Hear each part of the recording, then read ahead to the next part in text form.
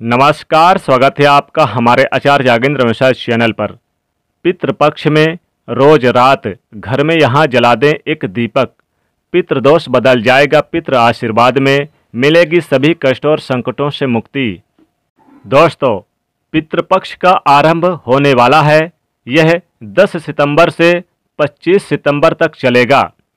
पितृदेवों के निमित्त उनकी खुशी के लिए या फिर उनका आशीर्वाद प्राप्त करने के लिए कुछ विशेष कार्य किए जाते हैं पितृपक्ष में, जो आपकी कुंडली के पितृदोष को भी समाप्त कर देगा। तो अपने पूर्वजों को, पितरों को याद करने, उनके निमित्त श्रद्धा भाव व्यक्त करने और उनको प्रसन्न करने के लिए पितृपक्ष का महापर्व साल में एक बार आता है और वो आता है अश्विनी के महीने में, यानी कि भाद्रपद मास के शुक्ल पक्ष की पूर्णिमा तिथि से शुरुआत होती है और अश्विनी मास के अमावस्या तिथि तक चलता है, यानी कि ये सोलह दिनों तक चलता है ये महापर्व। और इनमें लगभग हर कोई अपने पितरों को प्रसन्न करने हेतु तो प्रयास करता है। जैसे कि श्राद्ध करना, तर्पण करना, उन्हीं के माध्यम से पितरों को याद करते हैं। और कहा जाता है कि हम जीवन में जो भी उन्नति करते हैं, सब पितर देवों की कृपा और आशीर्वाद से ही कर पाते हैं। अगर पितृपक्ष में छोटे छोटे उपाय किए जाएँ तो पितृदोष समाप्त हो जाते हैं और जीवन में जो पितृदोष जैसे की परेशानी है, वो पितरों के आशीर्वाद से दूर हो जाता है। क्योंकि अगर आपके पितृदेव प्रसन्न हों अगर प्रसन्न हैं या फिर प्रसन्न हो जाएँ तो आपके जीवन में कोई कभी कोई कमी नहीं आ सकती जीवन में। गरीबी दरिद्रता तक दूर हो जाती है। उनको प्रसन्न करने के लिए पितृपक्ष में सबसे अच्छा रहता है, जो कि भाद्रपद की पूर्णिमा से अश्विनी मास के कृष्ण पक्ष की अमावस्या तक आपको ये छोटे छोटे काम करने हैं। जो आपके जीवन की हर परेशानी को दूर करेगा।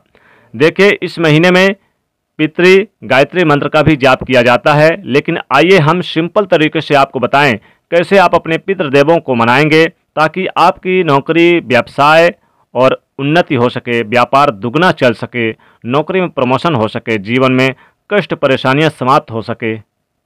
और जो जैसे कि पितृदोष होने से क्या होता है कि नौकरी, व्यापार में परेशानी स्वास्थ्य की हानि और घर परिवार में भारीपन लगना, झगड़े, लड़ाई ज़्यादा होने, संतान का सुख प्राप्त नहीं हो रहा, जैसे चीज़ें हो जाती है तो उन तमाम परेशानियों से बचने के लिए आप रोज एक छोटा सा काम करें।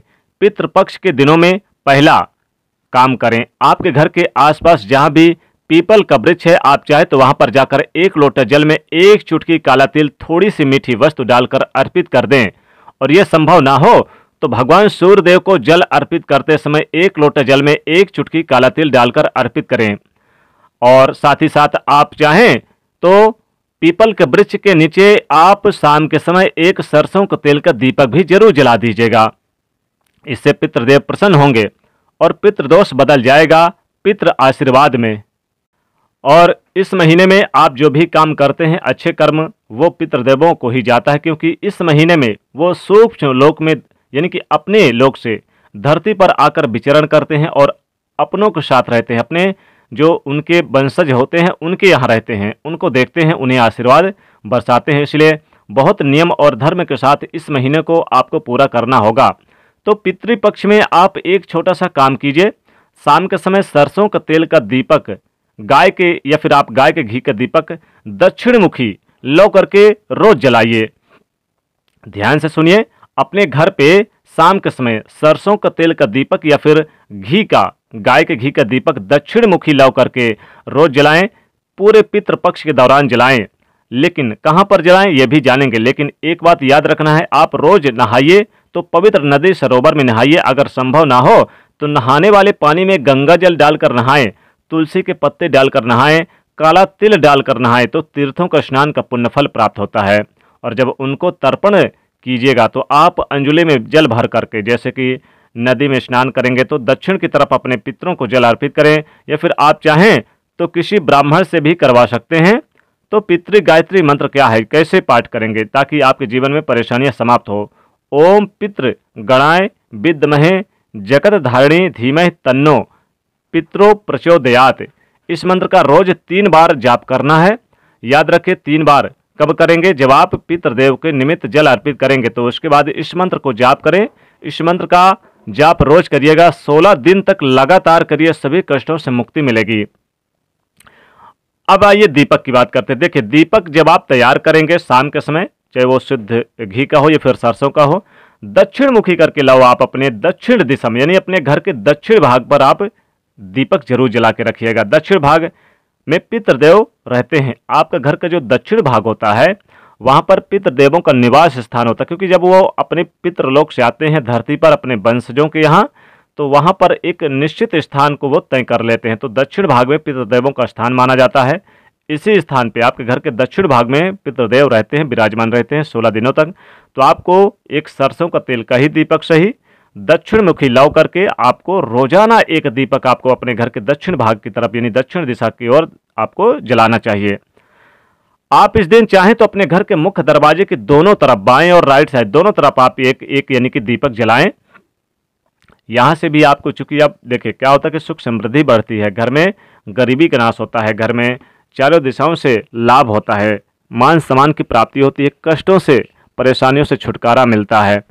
तो आप यानी कि अपने मुख्य दरवाजे पर भी जलाएँ और आप अपने आँगन पर भी आप एक दीपक जलाएँ। तो यानी कि आपको दीपक जलाते समय अपने पितृदेवों का स्मरण भी करना है। जैसे कि, ओम पितृदेवाय नमय ओम पितृदेवाय नमय इस मंत्र का जाप भी करना है।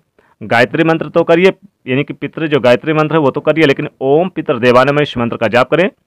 वैसे तो कहा जाता है कि पितृदेव के रूप में भगवान विष्णु और माता लक्ष्मी हैं, इसलिए इनका भी स्मरण ज़रूर करिए आप पितृपक्ष में। भगवान विष्णु और माता लक्ष्मी जी की भी पूजा ज़रूर करें, ताकि घर में सुख समृद्धि बनी रहे, कभी भी किसी प्रकार कोई निगेटिविटी घर में प्रवेश ना करें। पितृदेवों का आशीर्वाद पितृपक्ष में ज़रूर प्राप्त करना चाहिए, क्योंकि पितृदेव अगर प्रसन्न हो जाते हैं तो जीवन के बड़े से बड़े कष्टों को भी तुरंत दूर कर देते हैं।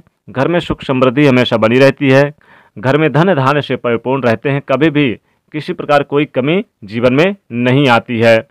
तो पितृपक्ष में आपको रात के समय आपको दीपक जलाना है, ध्यान रखिएगा। आपको रात के समय ये दीपक जलाना है रोज। जब शाम हो जाए, सूर्य अस्त हो जाए, उसके बाद आपको अपने घर में, यानी कि दक्षिण दिशा की तरफ़ आपको एक दीपक जला देना है। अगर एक से ज़्यादा भी जलाएँगे तो आपकी मर्ज़ी, लेकिन कम से कम एक दीपक जलाए तो पितृदोष बदल जाएगा। पितृ आशीर्वाद में सभी कष्टों से, सभी संकटों से मुक्ति मिलती है। जीवन में सुख समृद्धि बढ़ती है, हर कष्टों से छुटकारा मिलता है, लाभ मिलता है और आप जीवन में दिन दुगनी, रात चौगनी तरक्की प्राप्त करते हैं। क्योंकि जब पितृदेव प्रसन्न होते हैं तो जीवन में सब कुछ संभव है, सब कुछ प्राप्त होता है। हमारे कैरियर हमारी नौकरी, हमारे बिज़नेस व्यापार, सब कुछ चलता है, घर में सुख समृद्धि बनी रहती है, संतान की प्राप्ति, वैवाहिक जीवन में सुख, हर प्रकार के कष्टों से भी छुटकारा मिलता है इसलिए पितृपक्ष में आपको ज़रूर, यानी पूजन करना चाहिए। और इस बार का यह पितृपक्ष 10 सितंबर, यानी 2022 में 10 सितंबर से शुरू हो रहा है, भाद्रपद के पूर्णिमा तिथि से। और यह अश्विनी मास के अमावस्या तिथि, यानी कि 10 सितंबर से 25 सितंबर तक यह पितृपक्ष चलेगा। तो इस दौरान आप ये उपाय ज़रूर करें। तो दोस्तों, वीडियो को लाइक कर दीजिए, ज़्यादा ज़्यादा शेयर करिए और चैनल को सब्सक्राइब करिएगा। जय शनिदेव।